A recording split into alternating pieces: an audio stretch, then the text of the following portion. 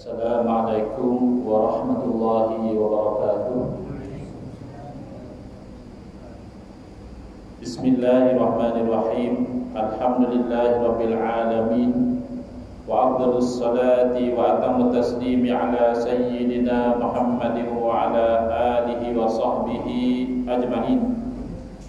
رب اشرح لي صدري ويسر لي أمري واحلل عقدة من لساني يفقه قولي. سبحانك لا علم لنا إلا ما علمتنا إنك أنت العليم الحكيم. اللهم أخرجنا من ظلمات الوهم وأكرمنا بنور الفهم وافتح علينا بمعرفة العلم وسهل أخلاقنا بالحلم. واجعلنا ممن يستمعون القول فيتبعون أحسنه. اللهم آت نفوسنا تقواها وزكها أنت خير من زكاها أنت وليها ومولاها. اللهم أرنا الحق حقا وارزقنا اتباعه. وأرنا الباطل باطلا وارزقنا اجتنابه.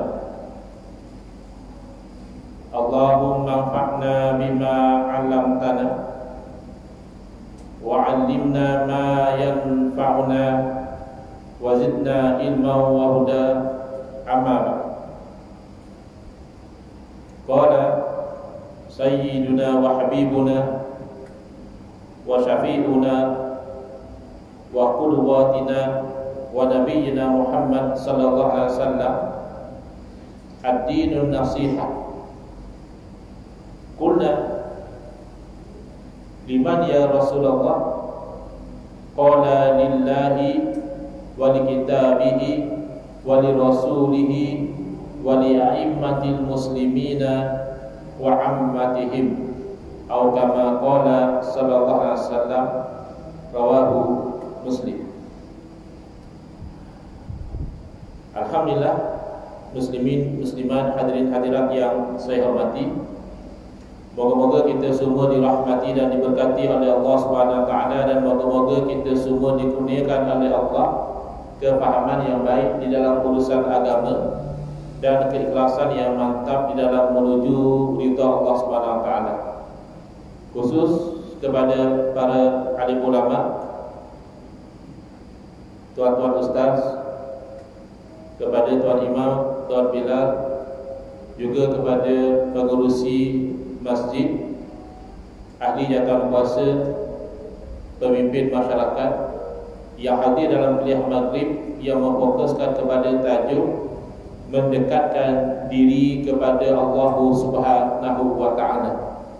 Jelas difahami oleh orang Islam di sini mendekatkan diri ini berarti daripada sudut hampirnya kita itu dengan ridha Allah Subhanahu Wa Taala. Bukan berarti Allah bertempat di satu tempat lalu kita bergerak menuju kepada zat Allah, bukan itu yang dimaksudkan. Dalam hadis sahih yang saya bacakan tadi, Nabi SAW memberi panduan tentang asas dalam agama kita Sabda Nabi SAW Ad-dinun nasihat Agama itu merupakan nasihat Selalu diterjemahkan agama adalah nasihat. Jadi nasihat yang kita fahami dalam bahasa Melayu Bahkan demikian juga dalam bahasa Arab Adalah advice Orang itu menasihati. Jadi agama kata mereka kita itu saling Nasihat menasihati. Tidak salah. Tetapi maksud daripada an-nasihah dalam hadis lebih luas dari itu. Bukti apabila para sahabat bertanya kepada Nabi SAW, lima dia Rasulullah. Untuk siapa nasihat itu wahai Rasulullah? Lalu Nabi SAW menjawab, lillah. Untuk Allah. Jadi tak mungkin nasihat dengan mana advice menasihati menasihati Allah tak mungkin. Wali kita ini menasihati Al-Quran tidak mungkin wali rasulihi menasihati rasul. Rasul yang menasihati kita bukan kita yang menasihati rasul. Wali a'immatil muslimin. Dan untuk pemimpin-pemimpin orang Islam ha, mungkinlah kita itu menasihati pemimpin. Semalam saya diberi peluang oleh pihak penganjur untuk bercakap dalam sekitar 7 minit eh, di seri perdana di hadapan Yang Amat Muhammad Perdana Menteri Malaysia yang ke-10 terlajak juga lah sebab bukan selalu dapat kita itu bercakap direct kepada pemimpin tertinggi negara darjah dalam 12 minit tetapi saya tidak meminta untuk bercakap tapi ada permintaan supaya saya bercakap dan saya gunakan peluang itu untuk menasihati.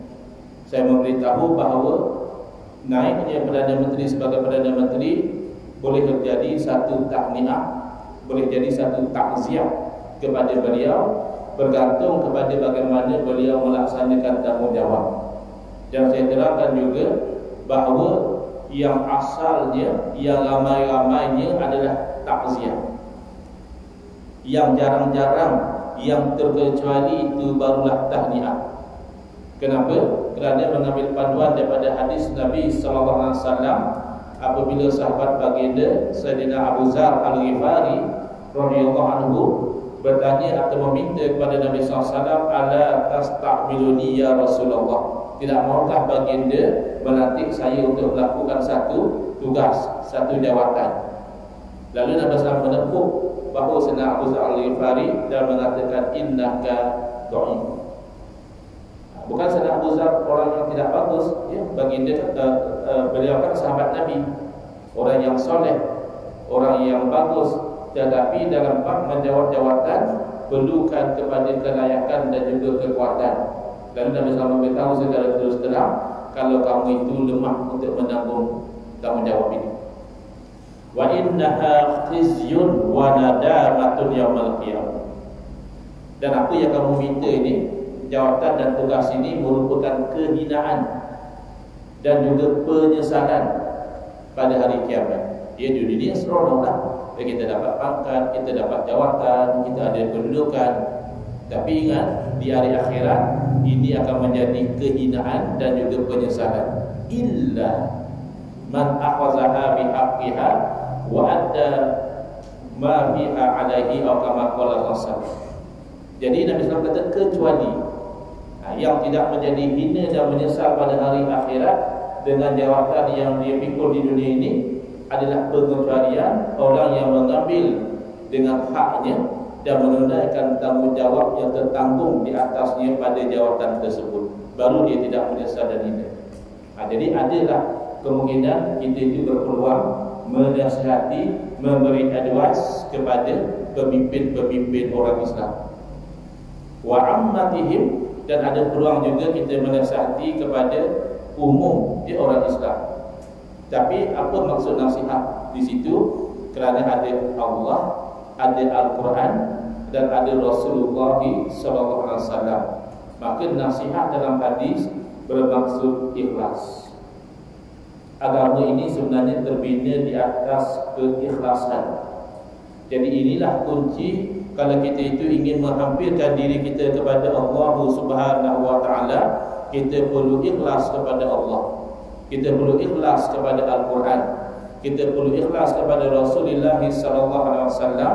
Kita perlu ikhlas kepada para pemimpin dan kita juga perlu ikhlas kepada masyarakat Islam keseluruhannya barulah insyaallah kita itu hampir kepada Allah Subhanahu wa taala. Jadi dalam tempoh kuliah maghrib sebelum dari isya ini kita cuba huraikan ya, satu persatu secara ringkas. An-nasi an-nasihatu lillah. Ikhlas kepada Allah Subhanahu taala yang paling asas adalah mentauhidkan Allah Subhanahu taala dan tidak mensyirikkan Allah Subhanahu taala baik syirik yang jadi yang terang-terangan sebagaimana yang dilakukan oleh orang-orang kafir musyrik menyembah kepada selain daripada Allah Subhanahu wa taala.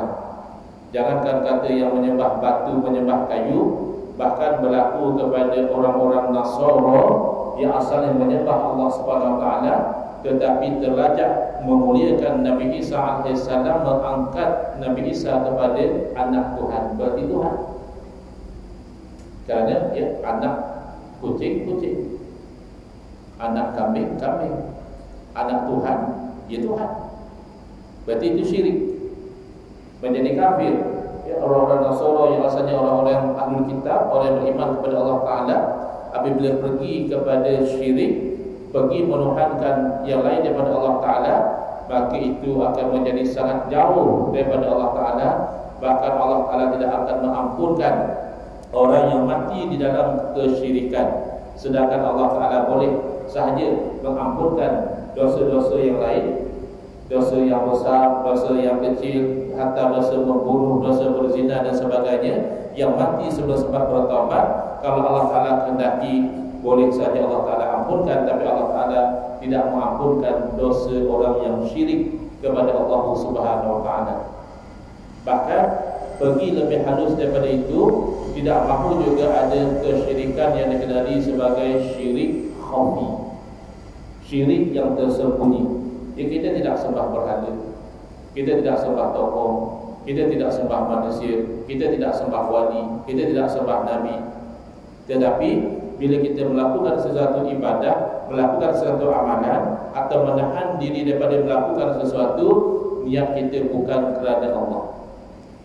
Nauzubillah, bahkan amalan daripada Nabi wasallam orang yang menuntut ilmu bukan kerana Allah itu akan diumatkan ke dalam neraka padahal menuntut ilmu satu yang mulia man salaka tariqan ila tamisu fihi ilman sahalallahu tariqan ila jannah atau kama qala sallallahu alaihi wasallam.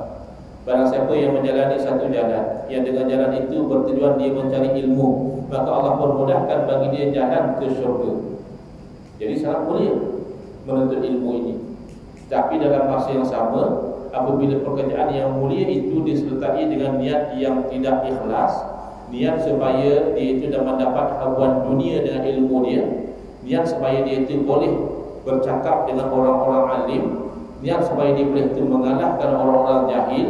Niat supaya wajah-wajah manusia memandang, memuji dan menyanjung kepada dia. Maka orang ini bukan dipermudahkan jalan ke syurga tetapi akan diumatkan ke dalam neraka. Wa'iyah dubillah jadi itu yang pertama apabila kita ingin ikhlas kepada Allah Subhanahu Wa Taala, kita kena ada tadabbur, kita kena ada tafakkur, berfikir bahawa hala tujuan kehidupan kita ini ialah Allah. Apa makna bila berlaku kematian dan musibah kita menyebut inna lillahi wa inna ilaihi rajiun. Kadang-kadang sudah jadi adat. Kita tidak menghayati, kita tidak merasai apa makna daripada kalimah tarjih ini dah jadi standard lah oh ada jiran kita mati ada kenalan kita meninggal dunia lalu bila dah sampai berita kepada kita automatik kita kata inna lillahi wa inna ilaihi rajiun. Tapi kalau kita menghayati makna daripada ayat suci Al-Quran ini inna lillahi sesungguhnya kita itu milik Allah. Jadi adatnya sesuatu yang milik maka kembali kepada pemilik. Kita kalau meminjam barang orang Kalau pemiliknya minta supaya dipulangkan ya Kita tidak boleh marah. Kerana itu memang milik dia. Maka kita ini milik sebenar Allah Ta'ala. Yang milik atas dunia ini hanya milik pinjam-pinjaman. Dia kereta milik siapa? Milik saya. Rumah milik siapa? Milik saya. Ya, duit milik siapa? Milik saya. Handphone milik siapa? Milik saya. Tetapi ini bukan milik sebenar. Buktinya boleh berpindah kalau kita jual. Boleh hilang kalau dicuri dan memang akan jadi hilang segala milik kita apabila berpisah nyawa dari jasad kita sudah tidak memiliki apa-apa lagi. Maka oleh kerana kita ini adalah milik Allah wa inna ilaihi raji'un. Sesungguhnya kita kepada Allah lah kita kembali. Kalau kita kembali kepada Allah merintih belas ihsan daripada Allah mengharapkan pahala daripada Allah ingin syurganya Allah kenapa kita buat amalan kerana orang lain Tidakkah kecewa, tidakkah kita itu nanti akan merasa sangat sedih apabila di hari akhirat? Bila kita mengharapkan pahala dan juga balasan daripada Allah Taala lalu Allah Taala menempulah kita. Kata Allah Taala pergilah kamu minta kepada si fulan si fulan si fulan yang dahulu kamu melakukan kerana mereka.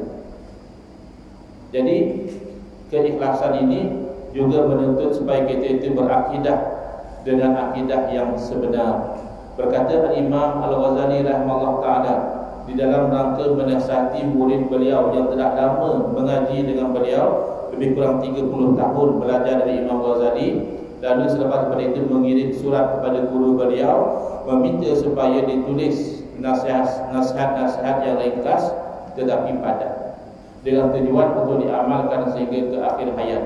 Lalu antara mutiara nasihat yang diberikan oleh Imam Ghazali rahimahullah taala kata Imam Ghazali ayyuhal walad wahai anakku yakni anak murid beliau qad wajaba 'ala saliki arba'atu umur. Wajib kata seorang salik seorang yang berjalan menuju kepada ridha Allah. Kan? Kadang-kadang kita dengar orang dulu-dulu kata mana datuk kamu lama tak nampak? Oh datuk suluk.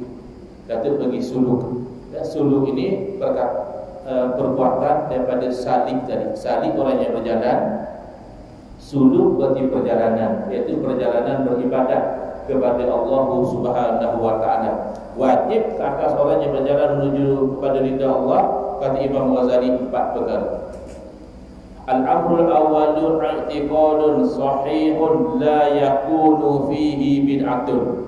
Hendaklah orang yang nak sampai kepada ridha Allah itu dia berakidah dengan akidah yang sebenar yang tidak ada pada akidah dia sebarang bentuk bid'ah. Tak boleh ada bid'ah langsung di dalam akidah. Tapi Ustaz bukankah para ulama mengatakan ada di sana bid'ah yang hasanah? Bid'ah tapi baik. Ya betul. Imam Syafi'i rahimahullah taala daripada generasi salaf ulama salaf yang menjadi ikutan puluhan ratusan ribu bahkan jutaan umat Islam menjelaskan tentang bid'ah ini dengan ringkas tetapi terang. Tiga poin sahaja. Pertama, Imam Syafi'i mengatakan al-bid'atu bid'atan. Perkara bid'ah ini dua jenis.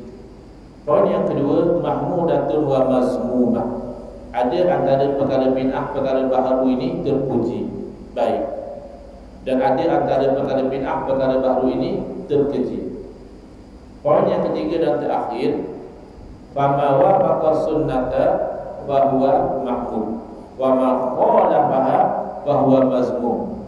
Mana perkara baharu perkara bid'ah yang selari dengan sunnah yakni kena dengan ajaran nabi yang seperti itu terpuji.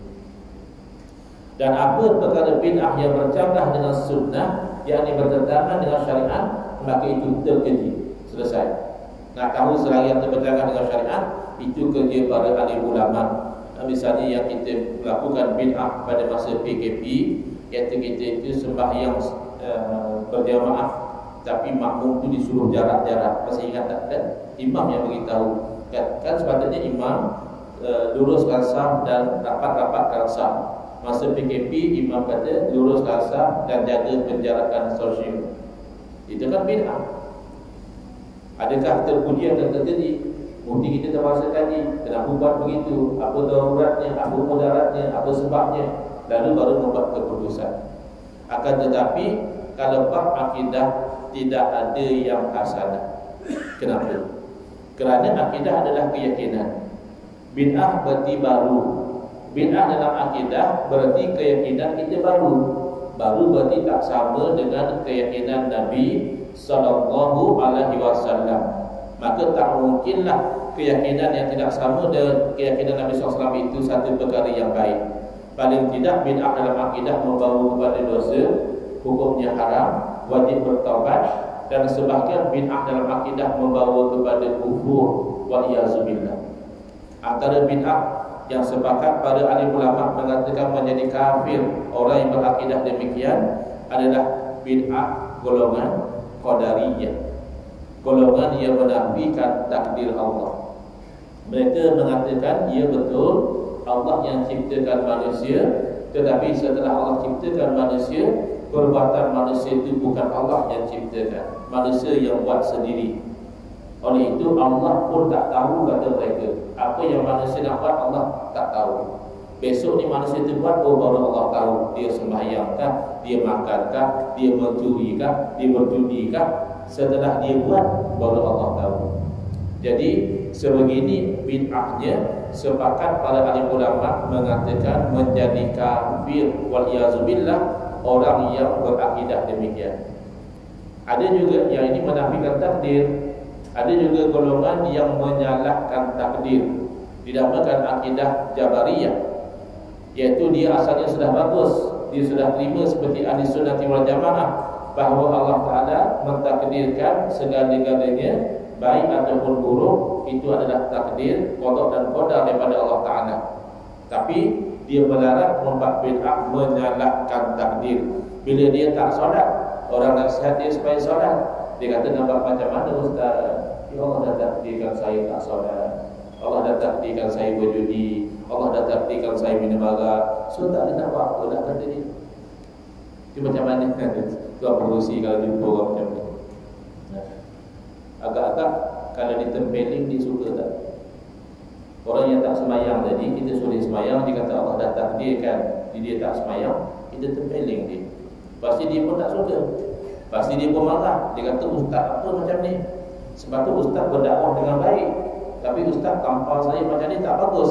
Kita kata sabar tak bang Ya Allah dah takdirkan saya tampal awak. Kalau awak tak faham saya boleh tambah lagi. Namun-namun dia fikir Lepas juga fikir aku kalau bagaimana takdir-takdir macam ini dan dia pun hanya guna alasan menyalah-nyalahkan takdir ini ketika dia tidak mengelak tidak mahu melakukan kewajipan atau nak melakukan kemaksiatan. Tapi untuk urusan dunia bila dia lapar ada tak dia kata nampak macam mana minggu ni memang Allah dah takdirkan saya lapar. Tak ada. Tentu juga dia lapar start motor cari roti canai cari nasi cari tom yum. Tak ada pula dia kata takdir Allah. Jadi akidah daripada ahli bid'ah kerana Nabi SAW yang mengajar kita beriman dengan takdir Bagi dia tidak pernah mengajar kita menyalah-nyalahkan takdir. Orang ini nak berlagak sebagai Tuhan, nak menegur takdir. Mana dia tahu? Benda belum berlaku. Waktu syarat masih ada. Kenapa kamu kata Allah dah takdirkan kamu tak salat? Kamu tidak tahu takdir Allah. Tapi kamu meneka-neka secara yang merasakan syariat. Jadi untuk kita itu ikhlas kepada Allah Ta'ala selain daripada kita beribadah semata-mata menyembah kepada Allah selain daripada kita itu ikhlas tidak riak tidak ujub dan sebagainya kita juga perlu berakidah dengan akidah ahli sunnah wal jamaah sebagaimana dipertahankan oleh umat Islam Asy'ariyah pengikut Imam Hasan Asy'ari dan Maturidiyah pengikut kepada Imam Abu Mansur Al-Maturidi rahmatullah alaihi saya difahamkan di Melaka dalam undang-undang disebutkan kalau ahli sunnah wal jamaah itu adalah asyairah dan maturidiyah dalam akidah. Kemudian yang kedua wali kita bihi. Hendaklah kita ikhlas kepada Al-Quran. Berarti kita percaya bahawa ini adalah wahyu. Wa ma yantiqu 'anil hawa in huwa illa wahyun yuha. Bukan Islam mereka-reka mengikut hawa nafsu bagi dia tidak. Tapi apa yang bagi dia sampaikan adalah wahyu yang diwahyukan. Kalau wahyu yang diwahyukan itu lafzan wa ma'nan, lafaz dan makna daripada Allah Taala itulah namanya Al-Quran. Kalau itu wahyu lafaz daripada Nabi, makna daripada Allah itulah disebut sebagai hadis Nabi sallallahu alaihi wasallam. Kedua-duanya wajib kita patuhi dan kita taati. Maka ikhlas kita kepada Al-Quran kita yakin ini adalah kalamullah bahawa segala-gala itu benar disampaikan oleh Rasulullah SAW kita membacanya dengan bacaan yang betul dengan tajwid yang elok dengan makhraj yang tidak salah dengan panjang pendek yang tepat dan lebih daripada itu lagi kita cuba memahami apakah yang terkandung di dalam Al-Quran. Membaca sudah ada pahala. Kita mungkin pernah dengar dalam hadis Nabi SAW Nabi memberitahu bahawa satu huruf Al-Quran dibaca mendapat sepuluh ganjaran. Dan Nabi SAW terangkan lagi. Yang dikatakan satu huruf itu bukan alif lam mim itu satu huruf. Tidak. Alif satu huruf lam satu huruf mim satu huruf. Setiap satu itu diberi sepuluh ganjaran oleh Allah Subhanahu Wa Taala. Maka bayangkan ganjaran. Orang yang bukan sahaja membaca bahkan dia memahami apa yang terkandung dalam ayat-ayat tersebut. Maka walaupun kita bukan orang Arab kita tidak faham bahasa Arab Alhamdulillah Allah takdirkan ada di sana para alim ulama yang menggali isi kandungan Al-Quran dan mereka memudahkan kita kalau nak faham tentang kepercayaan dalam ilmu tauhid. Kalau nak faham tentang hukum hakam, wajib sunat, makruh haram, harus dan sebagainya itu dalam ilmu fiqh. Kalau nak belajar tentang ikhlas, tentang syukur, tentang sabar, ibadah-ibadah hati dan hendak menjauhi maksiat-maksiat hati maka itu adalah ilmu tasawuf. Jadi ada orang keliru. Kata dia, saya lihat di Masjid Surau tak ada kuliah Al-Quran. Yang ada hanya kuliah akidah. Yang ada hanya kuliah fiqh. Yang ada hanya kuliah tasawuf. Dia membayangkan kuliah Al-Quran itu hanya kalau kuliah tafsir. Ya, kuliah tafsir itu berkenaan Al-Quran. Tapi tidakkah akidah diambil daripada Quran dan hadis? Tidakkah fiqh itu ulama gaji daripada Quran dan hadis? Tidakkah tasawuf itu bersandarkan kepada tuntutan Al-Quran dan hadis? Maka keikhlasan kita kepada Al-Quran Jangan sampai kita cuai memahami akidah kita Jangan sampai kita tidak belajar ilmu fiqah hukum hakam kita Dan jangan sampai kita itu tidak bertasawuf Seolah-olah agama ini hanya perkara yang zahir. Dua orang berdiam diri. Seorang sedang diberi pahala kepada Allah SWT Dan seorang sedang menanggung dosa. Kenapa? Kerana Allah tahu apa dalam hati. Orang itu walaupun dia diam dia sedang syukur, dia sedang sabar, dia sedang tawakal kepada Allah Taala, itu adalah ibadah yang diganjari oleh Allah Taala. Satu orang diam tapi dia sedang kasar, dia sedang riak, dia sedang takabur, maka itu ada dosa daripada Allah Subhanahu wa taala. Maka keikhlasan kita dengan kitab Allah adalah membaca, memahami dan beramal dengan apa yang terkandung di dalam Al-Quran. Jangan kita memilih-milih seperti orang Bani Israel. Orang Yahudi dalam kitab Taurat dia tengok yang sesuai dengan selera hawa nafsu dia, dia dia ketengahkan dan dia pakai. Yang bercanggah dengan selera dan nafsu dia, dia sorok dan dia putar beritan. Jangan kita orang Islam jadi sebegitu. Ada orang berkata, na'udzubillah min zalik, ada setengah orang bila ditanya apa hukum, apa fatwa, dia kata, kamu nak yang macam mana? kita boleh datangkan dalil. Kalau kalau nak haram, kita boleh bawa dalil kata haram. Kalau kalau nak kata wajib, kita boleh bawa dalil kata wajib. Ini orang yang tidak ikhlas kepada Al-Quran. Ini hanya memperalatkan Al-Quran untuk menjustifikasikan tidak tanduk dia. Jadi yang orang kata, apa istilahnya? Al-halalku wal-harammu. Maksudnya kalau aku buat, dia halal. Kalau kamu buat, itu haram. Jangan begitu. Ini tidak ikhlas dengan Al-Quran. Kalau kita ikhlas dengan Al-Quran, yang kita buat pun kalau Al-Quran kata haram, kita kata ia haram. Kalau Al-Quran kata itu halal, walaupun musuh kita yang buat, kita kena kata halal. Jadi yang seterusnya, wali Rasulihi Wasallam ikhlas kepada Rasulullah Wasallam pertama tentulah mengakui kerasulan kebenaran Nabi Wasallam. Banyak ada di sana manusia-manusia yang mendustakan Nabi SAW Bahkan antaranya yang dapat pertalian persaudaraan dengan Nabi SAW Yang bahkan bergembira dengan kelahiran Nabi SAW Yang bahkan memerdekakan hamba untuk menzahirkan kegembiraan atas lahirnya Nabi SAW Iaitu bapa saudara baginda sendiri iaitu Abu Lahab Tetapi dia tidak ikhlas Kenapa? Apabila didatangkan dengan risalah bahawa dia itu dulu percaya apa yang disebut dalam Islam pasti benar. Nabi Islam beritahu di belakang bukit ini ada tentera yang akan menyerang Makkah.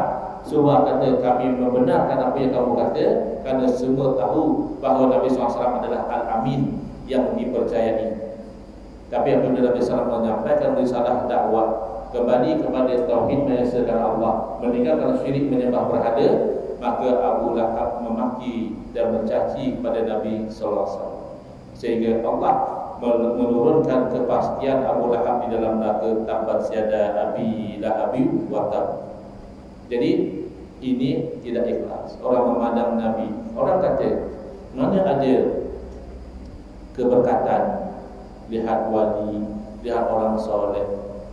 Ya, kerana dahulu pun orang yang lihat Nabi pun bukan semuanya beriman. Beza Orang yang melihat Nabi hanya sebagai manusia biasa Orang miskin, tidak ada kedudukan Ia dia tidak beriman. Dia tidak ikhlas melihat Nabi SAW Bahkan kita lihat insan yang sama Sayyidina Umar radhiyallahu anhu Ketika Sayyidina Umar melihat Nabi sebagai manusia biasa Yang datang memecah belahkan masyarakat Makkah Sayyidina Umar ketika itu ingin membunuh Nabi Sallallahu alaihi wasallam. Berusaha untuk membunuh Nabi. Tapi setelah datangnya cahaya hidayah dengan berkat ayat-ayat dalam surah Taha sehingga Sayyidina Umar mengatakan tidak mungkinlah ini ayat yang ditulis oleh manusia. Ini pastilah ayat daripada Tuhan sekian alam. Sudah berubah pada Sayyidina Umar melihat pada Nabi SAW sebagai Rasulullah. Maka Sayyidina Umar telah menjadi insan yang Allah muliakan Islam dengan keislaman beliau kan beza? Jadi melihat wali juga sama. Melihat orang soleh juga sama. Kalau kita lihat wali ini sebagai orang yang tidak punya apa-apa ya kita dapat apa-apa tapi kalau kita lihat wali-wali Allah ini sebagai orang yang Allah muliakan yang hampir dengan Allah insya Allah di situ ada keberkatan melihat ulama sebagai warasatul anbiya juga ada keberkatan. Tapi kalau ulama sendiri tidak menjadikan diri mereka sebagai warasatul anbiya, tetapi menjadi abna dunia, menjadi orang-orang yang mengejar dunia, maka mereka tidak layak untuk memikul gelaran warasatul anbiya. Bahkan saya berkongsi dengan kawan-kawan keikhlasan kita kadang-kadang kita pun salah. Kita nak campur bahawa dengan orang-orang pemimpin-pemimpin politik kan ada sebelah sana, ada sebelah sini. Masalah. Lalu saya bagi satu panduan kepada diri saya sendiri dan saya kongsi kepada kawan-kawan. Saya katakan kita di dengan orang-orang politik, orang-orang yang berkuasa kita kalau mampu pergunakan mereka untuk kepentingan agama itu bagus. Mereka akan jadi orang yang berguna bukan kita pergunakan mereka untuk diri kita untuk dapat projek, untuk dapat pangkat, untuk dapat duit, jangan.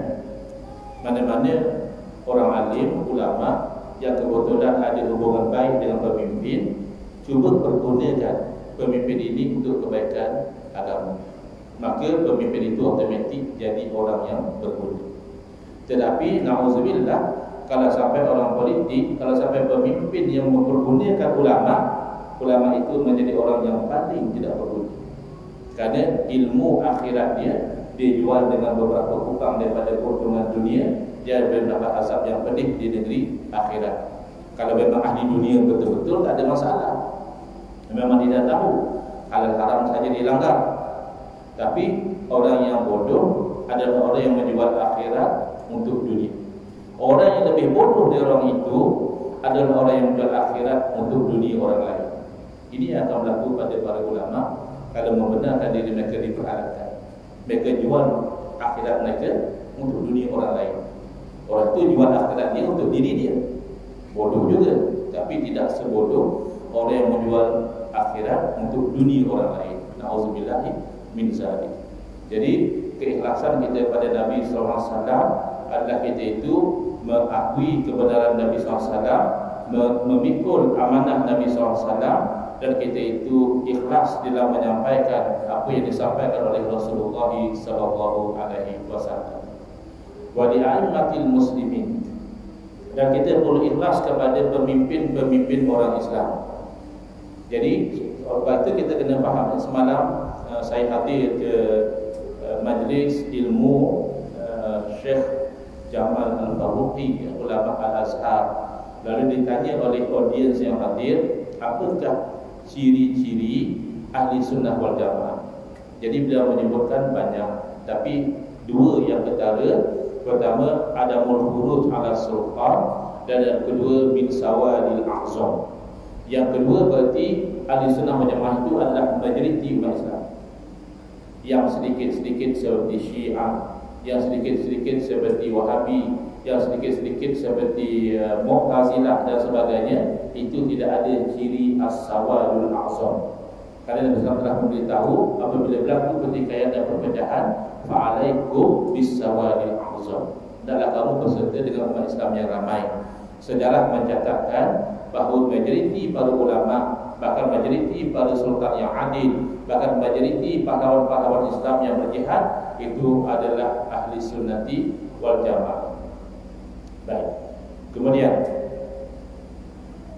yang kedua, bila sebut itu yang pertama, iaitu tidak memberontak melawan pemerintah. Ini ciri ahli sunnah wal jamaah. Sedangkan pemerintah boleh jadi zalim.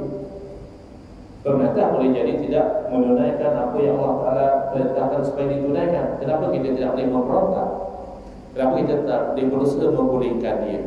Pertama, kerana itulah perintah daripada Nabi Sallallahu Alaihi Wasallam. Ketika ditanya oleh sahabat baginda Sayyidina Huzaifah al-Yamani radhiyallahu anhu, Nabi sallallahu memberitahu bahawa akan ada di sana pemimpin-pemimpin qulubuhum qulubus syayatin. hati pemimpin ini adalah hati syaitan. Mana pemimpin yang jahat. Lalu Sayyidina Musa Al-Imani bertanya kepada Nabi SAW Bagaimana bagi dia perintahkan saya Kalau saya hidup pada zaman itu Lalu Nabi SAW berpesan As-sam'u wa ta'ah Dahlah kamu dengar Dah dahlah kamu taat. Walaupun dipukul belakang kamu Walaupun dirampas harta kamu Kan jangan Pukul orang, rampas satu orang. Kenapa Nabi SAW perintahkan supaya taat? Baik, kita kena bezakan terlebih dahulu. Tidak memberontak kepada pemimpin walaupun zalim tidak berarti redha dengan kezaliman dia redha dengan kezaliman dia tidak boleh. Ridha bil maksiati maksiatun. Redha dengan maksiat itu satu bentuk maksiat. Bahkan apa lagi membantu dia melakukan kezaliman? Apatah lagi memberi restu, memberi cop, memberi surat cuci dosa kepada kezaliman? Tak boleh. Itu membawa kita kepada neraka. Tetapi kenapa tidak boleh kita boleh angkat senjata gulingkan dia kerana dia zalim? Kerana usaha menggulingkan itu akan mendatangkan mudarat yang lebih besar daripada bersabar di bawah kezaliman. Bahkan cara untuk menghilangkan kezaliman pemerintah telah disebut oleh Imam Fakhruddin Ar-Razi rahimahullah taala dalam tafsir beliau ketika menerangkan maksud ayat Al-Quran wa qadzalika walli ba'dz-zalimina ba'dz Demikianlah kami jadikan sebahagian orang yang zalim itu wali, pembantu, pemimpin kepada orang zalim yang lain. Kata Imam Fakhruddin Ar-Razi, bila-bila masa rakyat itu berlaku zalim, nescaya Allah Taala akan mengangkat atas mereka orang yang zalim sebab mereka. Kalau rakyat ingin menghilangkan kezaliman yang ada pada pada pemimpin mereka, maka hendaklah mereka menghilangkan kezaliman yang ada pada diri mereka terlebih dahulu. Kerana kezaliman pemimpin itulah gambaran kepada kezaliman yang dilakukan oleh rakyat. Jadi ini cara yang dianjurkan oleh Nabi SAW dan kita ada contoh di depan mata apa yang berlaku di Syria.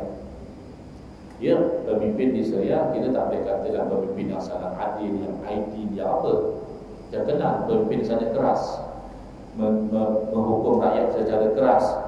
Tetapi sebelum pelakunya pemberontakan dipanggil sebagai Arab Spring di, di Syria kezaliman itu terbatas biasanya berlaku hanya kepada musuh-musuh politik tetapi apabila berlakunya Arab Spring dilarang oleh ulama-ulama Islam berjamaah. Syahidul Mihrab yang dibunuh ketika berkuliah maghrib di di Dimash di Masjid Dimash Al-Mahrum uh, Syekh Said Ramadan Al-Buti rahimahullah taala tak bagi. Dan saya jumpa dengan orang Syria yang berada di Shah Alam Ketika dia cerita itu bergenam air mata dia Dia kata dahulu Syekh Sayyid Abdul Rabuti Pernah melarang kami daripada bangkit. Kerana kata beliau Jalan yang bakal kamu tempuh adalah jalan yang gelap Yang menurun Yang kamu tidak tahu dia akan berhenti di mana Tapi setelah berlaku fitnah Baru orang biasa tahu Oh inilah rupanya sebab Ulama tak bagi bagi Setelah kebangkitan jutaan rakyat Syria menjadi pelarian. Ratusan ribu yang terkorban, yang hilang rumah, yang hilang keluarga, yang hilang nyawa, yang hilang anggota badan dan sebagainya. Kerana tidak mengambil panduan an-nasihatu di a'immatil muslimin. Ikhlas kepada pemimpin orang-orang Islam adalah tidak mendoakan keburukan kepada mereka tetapi menasihati mereka bercakap benar di hadapan mereka. Kalau mereka lakukan perkara tidak betul menasihati bahawa ini tidak betul ini bercakap dengan agama. Tapi sebahagian daripada kita ketika mereka itu menentang kezaliman ini kerana mereka ingin mengambil posisi kepimpinan ini tidak ikhlas. Orang itu berjuang bukan kerana menentang kezaliman bukan kerana menentang rasuah tapi dia nak dia berada pada posisi yang dia boleh melakukan sewenang-wenangnya dan dia boleh yang boleh mengambil rasuah. Ini tidak selesai. Dan yang terakhir wali ammatil muslimin. Ikhlas kepada seluruh orang Islam iaitu kita itu mengharapkan apa yang kita harap buat diri kita kepada semua orang Islam. Panduan daripada Nabi Sallam jelas la yu'minu ahadukum hatta yuhibba li akhihi ma yuhibbu li nafsi tidak sempurna rasanya kalau kita terjemah sahih tidak beriman seorang daripada kamu tapi para ulama menerangkan bukanlah tidak beriman berarti kafir, tapi tidak sempurna keimanan seorang kamu sehinggalah dia kasih buat saudaranya apa yang dikasih buat diri dia. Kita kan tidak. Jujur saja, kita kan tidak. Kita kasih macam-macam untuk diri kita, tapi kita tak kisah apa yang berlaku kepada saudara kita. Bahkan, kalau tidak, kadang-kadang kita tidur dalam keadaan kelaparan, sedangkan kita tidur dalam keadaan kegiatan. Mana ada kita kasih? Maka, sebuah nasihat kepada diri saya sendiri dan kepada muslim-muslimat yang hadir pada malam ini, untuk kita menghampirkan diri kita kepada Allah Ta'ala Beramalah dengan hadis ini ikhlas kepada Allah Ikhlas kepada Al-Quran Ikhlas kepada Rasulullah SAW Ikhlas kepada pemimpin-pemimpin dan juga umat Islam. Hadha wa bila wa hidayah. Wassalamualaikum warahmatullahi wabarakatuh. Bismillahirrahmanirrahim. Alhamdulillah Alamin. Wassalatu wassalamu ala Nabi Al-Anbiya wal Mursalin Wa ala alihi wa sahbihi ajma'in اللهم اشرح صدورنا واحسن اخلاقنا وعظم اجورنا ونور قلوبنا بنور هدايتك كما نطقت بنور شمسك ابدا ابدا برحمتك يا ارحم الراحمين والحمد لله رب العالمين امين يا رب العالمين وأعوذ منكم saya dah selesai solat jamaah takdim saya minta izin ya terima kasih